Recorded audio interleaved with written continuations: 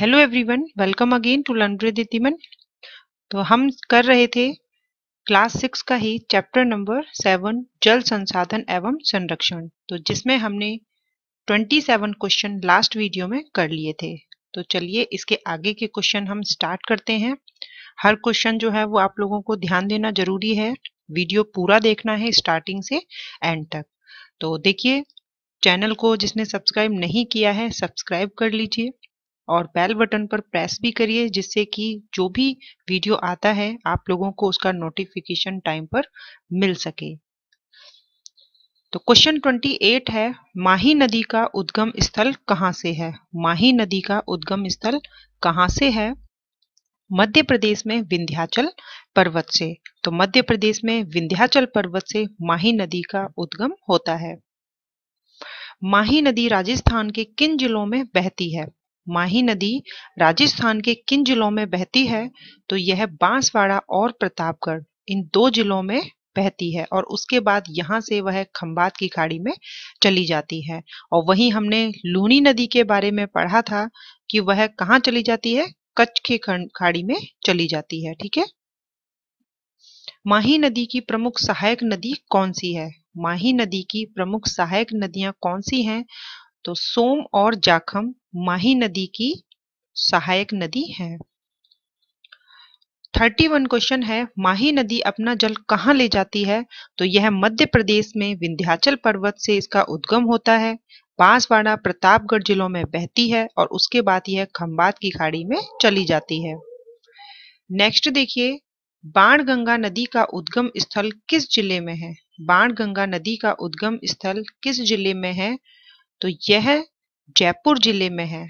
इस नदी का उद्गम स्थल जो है, वह जयपुर से है, अरावली की बैराट पहाड़ी से।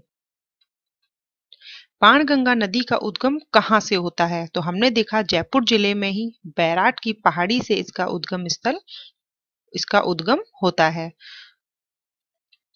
कौन सी नदी का पानी भरतपुर में घना पक्षी राष्ट्रीय उद्यान में नम भूमि का निर्माण करता है?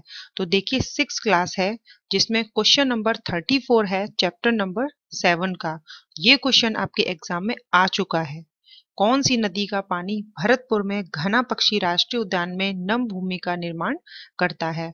तो यह है बाण गंगा नदी, जो कि भरतपुर में घना पक्षी राष्ट्रीय उद्यान में जाकर भूमिगत हो जाती है।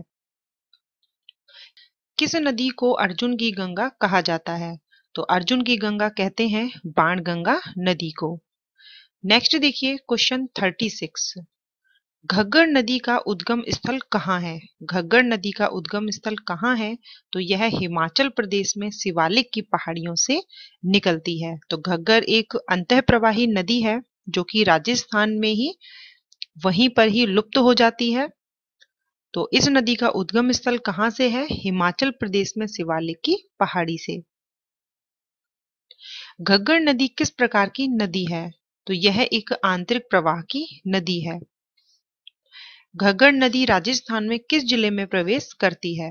तो हिमाचल प्रदेश से आती है यह और फिर हनुमानगढ़ में जाकर प्रवेश करती है, फिर श्री गंगानगर में जाती है और वहीं तक इसका अंत हो जाता है। वहीं पर यह भूमिगत हो जाती है। इसीलिए इसे क्या कहते हैं? अंत प्रवाही नदी।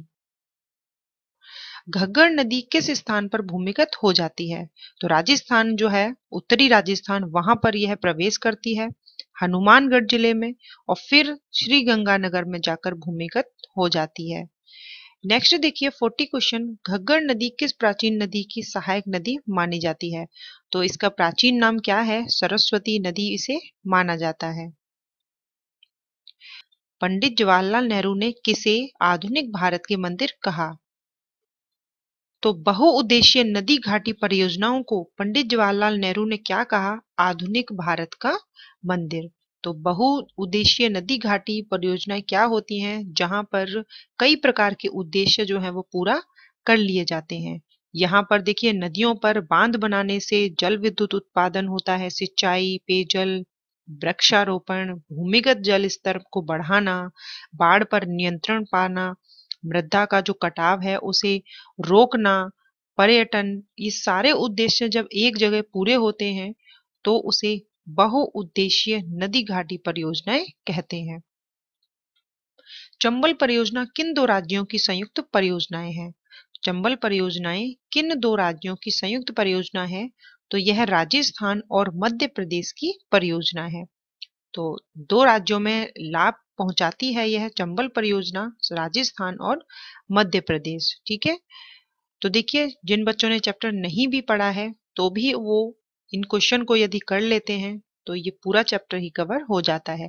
लेकिन फिर भी आप लोगों के लिए ये है कि आप लोग चैप्टर जो है उसको अच्छे से पढ़िए।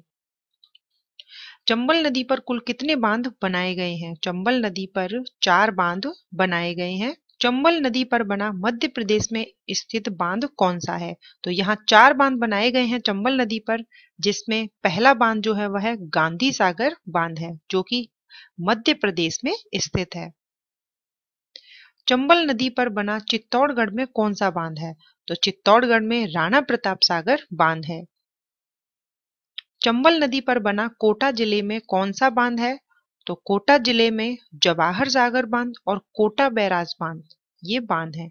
तो हमने देखा कि चंबल परियोजना के अंतर्गत कुल चार बाँध बने, गांधी सागर बाँध और उसके बाद राणा प्रताप सागर बाँध। जवाहर सागर बाँध और कोटा बैराज बाँध। नेक्स्ट देखिए, चंबल नदी परियोजना का मुख्य उद्देश्य क्या है? तो इसका उद्देश्य है जल विद्युत और सिंचाई की सुविधाएँ उपलब्ध करवाना। माही बजाज सागर परियोजना किन राज्यों की संयुक्त परियोजना है?